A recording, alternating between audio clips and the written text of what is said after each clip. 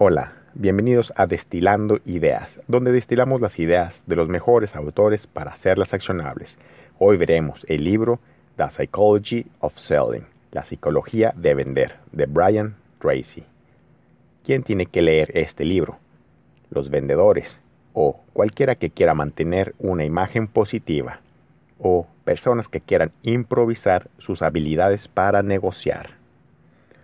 Un buen vendedor no nace, se hace. Cualquiera puede ser un buen vendedor, solo tienes que aprender cómo. Estas destilaciones son basadas en los pensamientos de uno de los gurús de ventas más exitosos del mundo, Brian Tracy.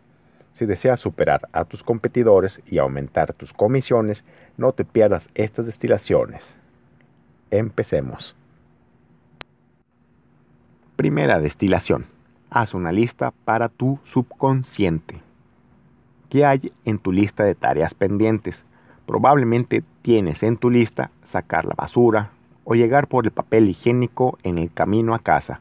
Pero, ¿sabías tú que la lista no es solo un accesorio doméstico? También es una gran herramienta para los vendedores exitosos. La lista de tareas es una manera segura de aprovechar el poder de tu subconsciente y lograr tus objetivos. El subconsciente desempeña un papel importante en el trabajo de un vendedor. Al escribir cosas en la lista le das al subconsciente un marco para trabajar.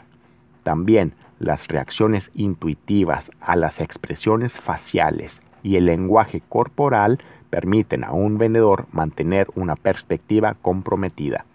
Comienza escribiendo una lista no de tus metas como vendedor, pero de las razones por las cuales tú deseas alcanzar esas metas. Cuanto más larga sea la lista, más motivado estarás. ¿Por qué? Bueno, cada razón es una motivación para tu mente subconsciente. Por ejemplo, tenemos el gerente de ventas con solo dos razones para lograr sus objetivos de ventas que son ahorrar para un coche nuevo y tomar un viaje por carretera a través de las montañas. Mientras tanto, el otro gerente de ventas pone en su lista decenas de razones, por ejemplo, desde la renovación de su casa a conseguir un perro para sus hijos, tomar unas vacaciones en familia a través de China y un carro Mercedes-Benz y mucho, mucho más. Mientras que el primer vendedor se encontrará fácilmente desalentado, el segundo será imparable. Estas listas de motivación son solo un elemento de la caja de herramientas de un vendedor. Es solo una de las técnicas que utiliza para obtener su subconsciente trabajando para él. Segunda destilación. Recuerda la mejor venta. Brian enfatiza mucho la autoestima antes de que entres a un establecimiento para hacer una venta. Mírate en el espejo y di a ti mismo, eres el mejor gerente de ventas del país. Sí, esto es totalmente raro, pero hazlo aunque te avergüences si alguien te vio. Vale la pena los beneficios. Cambiando tu autocharla de negativo a positivo, puedes mejorar tu imagen mental de ti mismo. Un gerente de ventas que repite afirmaciones positivas como por ejemplo, estoy tranquilo, seguro y me siento poderoso, pronto llegará a verse de esa manera. Tu subconsciente te animará a reaccionar ante situaciones estresantes como si esto fuera cierto, confirmando aún más tu autoimagen positiva. Antes de una próxima venta, recuerda la mejor venta que has hecho de todos los tiempos esto te llevará a repetir ese éxito una y otra vez. Por otro lado, los vendedores mediocres recuerdan su peor experiencia de ventas antes de hacer una próxima venta. Se encontrarán tartamudeando durante la charla y tensionados.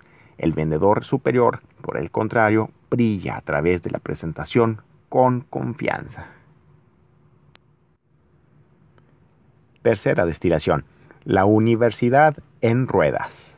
Aprende una cosa nueva todos los días, incluso si es algo que escuchaste en la radio. Al aprender cosas nuevas dentro del área de tu especialidad cada día, tú estarás un paso más cerca de alcanzar la excelencia. Un vendedor, un cliente del autor, escuchaba un programa de audio todos los días en el camino al trabajo. Ese audio ofrecía consejos sobre cómo estimular la autoestima, organizar un día, dirigir tu carrera y desarrollar una estrategia de presentación. Cada vez que llegaba al trabajo aplicaba las nuevas lecciones que había aprendido durante su viaje a situaciones prácticas. ¿Cuál fue el resultado? Casi duplicó sus ventas. También puedes aprender de los que te rodean. Encuentra un grupo de referencia, una red de personas que compartan tus mismos valores y pasa tiempo con ellos. Sus logros te elevarán a ti también, asociándote con los vendedores superiores, pidiendo su consejo y practicando sus técnicas, tu confianza y capacidad de ventas mejorarán exponencialmente. Cuarta destilación. Haz preguntas para saber sus deseos.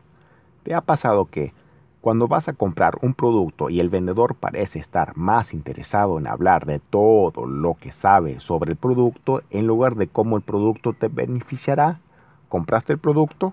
Probablemente no. Los clientes no están interesados en la historia del producto o en ninguna de sus características especiales hasta que sepan los beneficios que hay para ellos.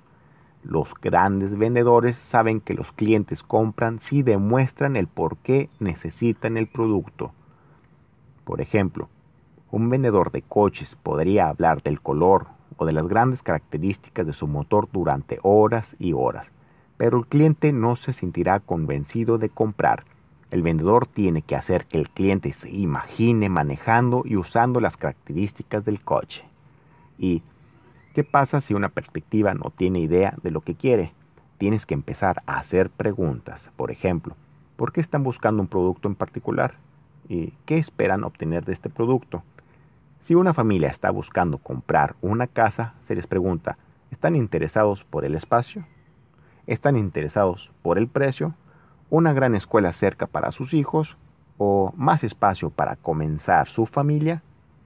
Sigue haciendo preguntas y pronto sabrás lo suficiente para descubrir lo que desean.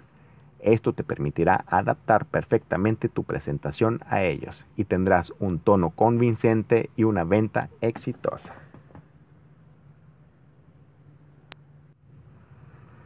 Quinta destilación. La gente compra por el estatus social. ¿Crees que la gente siempre consume lo más barato? No siempre.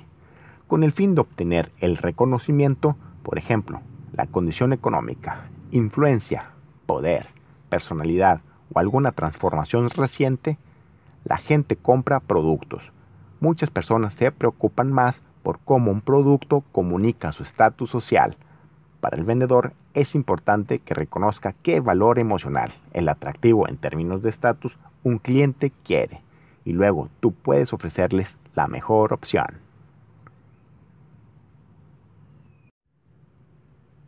Sexta destilación. Gana la confianza cuidando sus necesidades. ¿Has sentido esa sensación de tener los pies fríos antes de hacer una gran compra? Sentimos que si compramos un producto nos podemos quedar sin esa seguridad financiera y esa libertad que anhelamos tanto.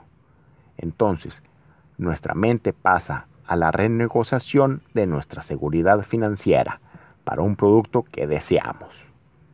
Si deseas que tu prospecto todavía compre a pesar de estos sentimientos, hay otro aspecto que necesita tu cliente para que se lleve a cabo la venta. No importa cuánto quieras tu producto, servicio o marca que estés vendiendo, siempre la perspectiva de tus clientes hacia ti es de dudar tus intenciones. Con el fin de ganar su confianza, tendrás que demostrar que tienes el conocimiento, eres responsable, y has hecho excelentes opciones en el pasado. Conclusión. Tu subconsciente y autoestima juegan un papel importante en tu capacidad de ventas, motivándote y aprendiendo de los demás, puedes comenzar a entender verdaderamente tus prospectos. Para ganar su confianza, demuestra tu confianza hacia ellos y ocúpate en satisfacer sus necesidades. Haz estas cosas y obtendrás ventas superiores y alcanzarás tus metas. Hoy escuchaste lo mejor de Brian Tracy, de su libro The Psychology of Selling, la psicología de vender. Suscríbete al canal, porque recuerda que tú eres el promedio de las 5 personas que más escuchas.